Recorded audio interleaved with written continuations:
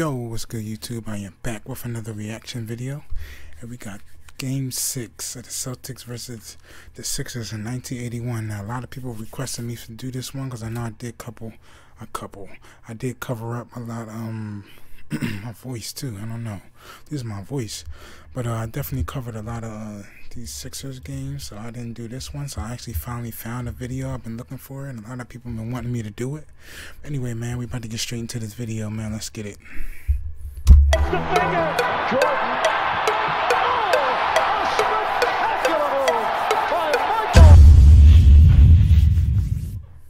Hey and a wonderful day old school NBA fans. You know what time it is. Welcome back to NBA Basement, the channel with the very best of classic NBA basketball. In today's episode we will again take you way back to the golden age of NBA basketball. This match is a pure classic. You're gonna see tough defense, great set plays and amazing offense. So sit back and relax and enjoy the time travel. Let's go.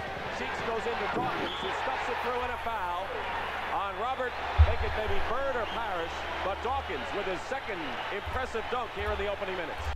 So far, Dawkins has made two high percentage shots. One inch from the basket, is getting it in deep. Toney. Bobby Jones. Bobby Jones, and the biggest lead of the game, 11 points for Philadelphia. Toney against ML Carr, pulls up with a jumper. Jones. Caldwell Jones. And that'll go. Caldwell Jones. And that'll do it for the quarter. And Philadelphia could not ask for more than that.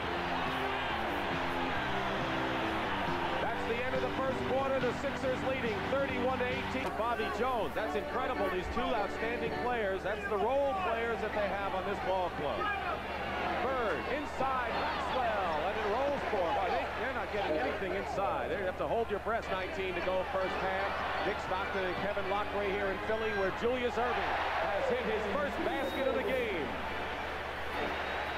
Who ran off six in a row, three-time steal.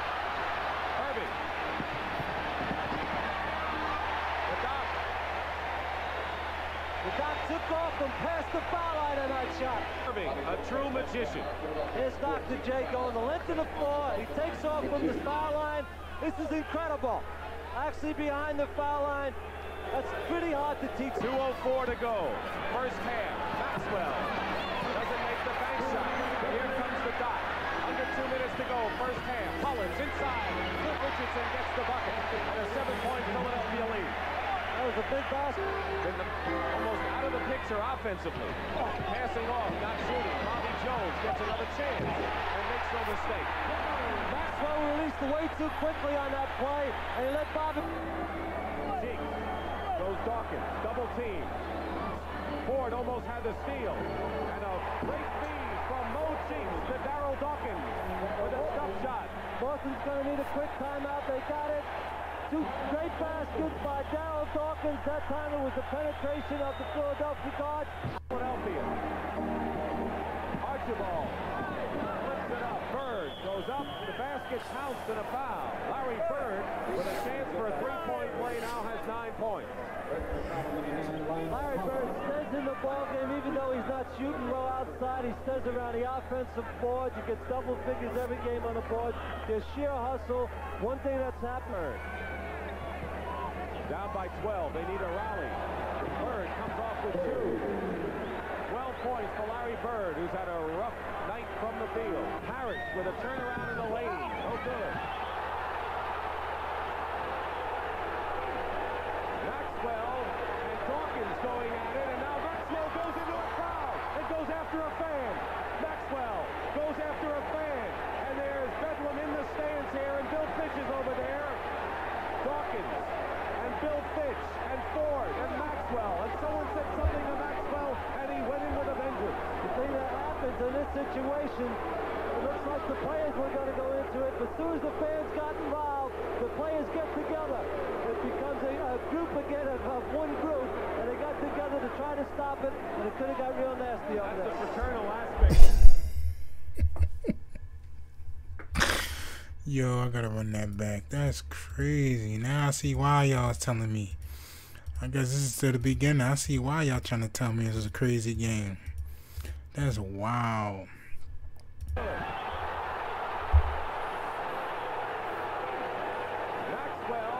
and Dawkins going at it, and now Maxwell goes into a crowd and goes after a fan.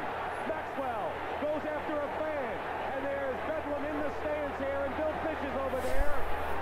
Dawkins and Bill Fitch and Ford and Maxwell, and someone said something to Maxwell, and he went in with a vengeance. The thing that happens in this situation, it looks like the players were going to go into it, but as soon as the fans got involved, the players get together. It becomes a, a group again of, of one group, and they got together to try to stop it, and it could have got real nasty over That's the fraternal aspect of this thing because when you're dealing with fans, say, that's another story. And I think Darryl Dawkins, to his credit, in as a peacemaker. Came off the floor, got on the floor. Pick it up There on it this is shot. Maxwell does the knocks Toney down. Here's the push. Dawkins pushes him down. He pushes him into the fan. The fan gets excited. Says something to, to Maxwell. Maxwell, actually, Maxwell Well, went after the. Maxwell was wrong. Cornbread Maxwell was wrong because the fans pay their way in and they can say anything they want. You just can't go after a fan who yells at you. Now, of course, he's under the pressure of this game, but that's where you can get some difficulty. I'll disagree to a point. All right. You can't believe what the fans might say and what might happen in there. You'll never know what might happen. Closest the Celtics got was five points in that second quarter. Bird trying to find the mark outside, and if he does, he will be murdered. I think he's found it. He's in his last two jumps. 14. There are some Boston fans here, they're going at each other a little bit verbally under the basket. Larry Bird gets free inside, coming off a pick low, and a five-point lead for Philadelphia. What a steal. Ford tipped it to Bird. Lead pass. Gerald Henderson. And goaltending against Richardson the other way. Sensational pass by Larry Bird to get it to The Celtics have not gotten within five points against this ball club in this game. This is the closest they've been since 17-13, and now Dawkins and Parish. Dawkins said, don't mess with me, and Madden has to break them up. You can just feel the intensity and electricity of the import of this game, and you can obviously see it in the crowd, and it's evident on the court. I wonder what that guy stand, uh, he thinks that he just gets back in the seat and here they go again. Maybe he's a referee. Maxwell and, Pa- uh, I should say Dawkins and Parish, don't stay mess with me. Big picture of it. Crunch time is only beginning, my friends, as Larry Bird hits a shot outside. He has 11 points in this quarter and 18 in the game. Hurt his ankle and has been on the bench for quite some time. And the Celtics in the game very much so. Down by five. And they missed the shot. Bird out of bounds. And they still rule it Boston ball with... And I think that Maxwell hurt his mouth. I think he hit his mouth on the floor. Yo, what's going on? Now I see why. I'm so glad I found this game too. I see why y'all telling me to watch this game, man. This is crazy. Yo. It's physical basketball. Everybody's on the floor in this play. Steve Mix, Maxwell, then Bird will come over the top. They all hit the deck. It's amazing they don't get hurt. That's been the story of this series.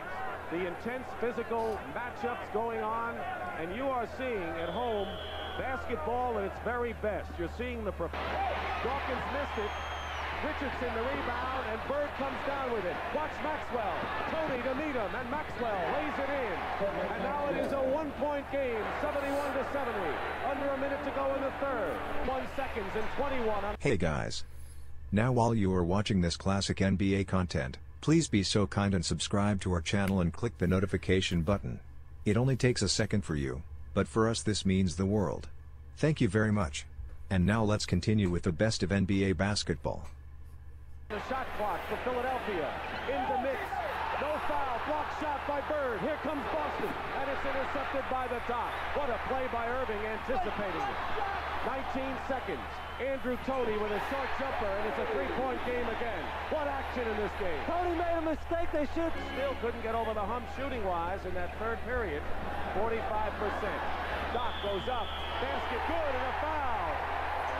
And Erving trying to become the factor offensively that he hasn't been so far in the game. It gets in deep.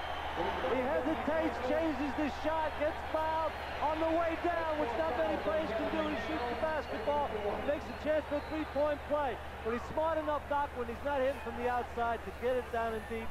And besides being a great player, he's And a six-point Philly lead. M.L. Carr, McHale, McHale, look at he fights his way in and a basket bounce and a foul. I'll tell you, we have two rookies playing in this game. One is Andrew Toney, the other McHale with ice water in their great, veins. great move by McHale. He faked out Caldwell Jones. Final quarter. Tiny tries to drive. Bird, rebound, basket good, and a foul. And everyone is on the floor. More people on the floor than standing up.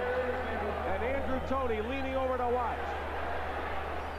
You can't be more aggressive. Man, they might as well all everybody on the court might as well just lay on the floor after this game. It's the third time. Yo, this is wild. I see why y'all kept saying do this video, do this video, man. This is crazy. in basketball. Everybody's on the floor. Five to six guys go to the floor. It's hustle on Bird's part to keep the ball alive. Shows you what great hands he has and quickness under the basket. Everybody's on the floor. It's great basketball. You can't beat this thing. Mark Caldwell Jones on a jump switch, double team, and a good trap defense by Philadelphia. Hollins to Bobby Jones, going to the hoop. Basket counts and a foul on Bird. And something through.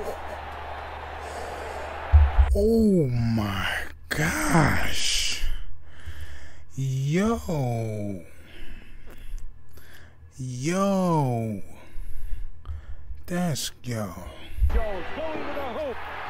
Five to six guys go to the floor. Caldwell Jones on a jump switch, double team, and a good trap defense by Philadelphia. Hollins to Bobby Jones, going to the hoop. Basket counts and a foul on Bird.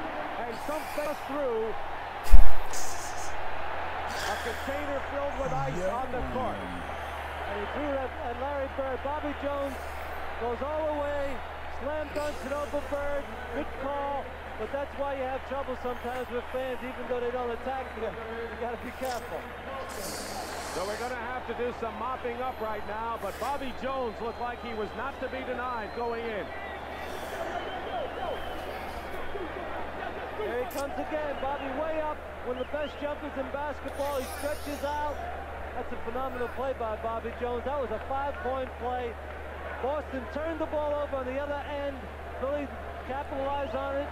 Got a chance for three-point lead. Dawkins, 16 points. Erving and Bobby Jones have 12. Bird has 21.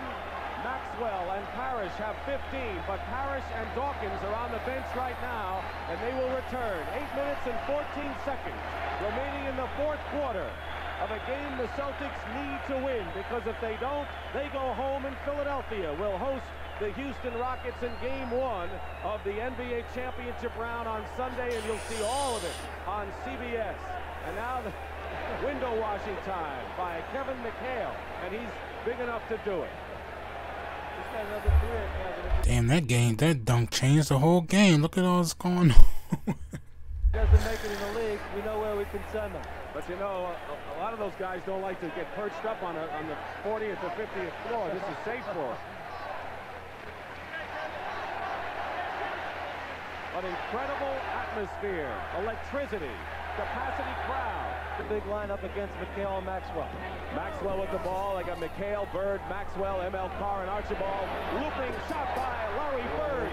23 points for Larry Bird. And the Celtics lead 84-83 in a game they must win.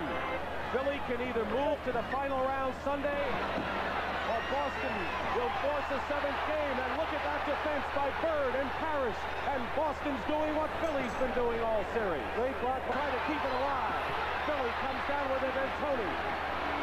Andrew Toney bounce pass Erving. Watch it. Another tie.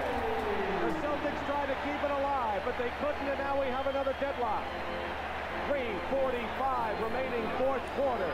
Not move baseline. There's Doc on the open field, right over seven footer. Parish has got five fouls, can't foul, but nobody can play better in the open field than Doc. Tiny coming out, under three minutes to go, fourth quarter. Bird to Parish low, loops it in, basket good, and a foul. And a clutch jump shot by Robert Parish. Darryl Dawkins argues. But for a guy who has really been beleaguered during this playoff, Parish has come through tremendously. Sensational shot, and what Toney, Erving, the Doc, Toney, Philly by one. Boy, I tell you, Julius Erving's great balance kept him inbound. That was a great catch by Doc. Shot clock. Bobby Jones is on him on a defensive switch. Hollins on Bird. Larry Bird shot. Drops for him. Look at that shot. Well, the Celtics didn't get any breaks early on those shots. They're getting it now. Three-point lead. 58 seconds to go. Fourth quarter. Toney comes back. What a pressure-packed rookie he is. One-point lead. Andrew Toney. Five seconds to go. Philadelphia, two timeouts to go. Celtics are up by one. Philadelphia's got the score. They have 10 seconds on the shot clock, and Andrew Toney misses off the side of the board. McHale gets it to Archibald. 10 seconds to go. They're going to have to foul him. And Tiny Archibald gets it to Bird, and there are five seconds to go. They get the ball away, and the foul with two seconds to go. They see that five-second count getting down to the end. Washington should tell the officials, let us know when it's getting down to five by counting it off from the start. And you're right, you told us during the commercial that two big men on the pass, Dawkins and Caldwell Jones, and that'll do it. The game is over. Boston has won.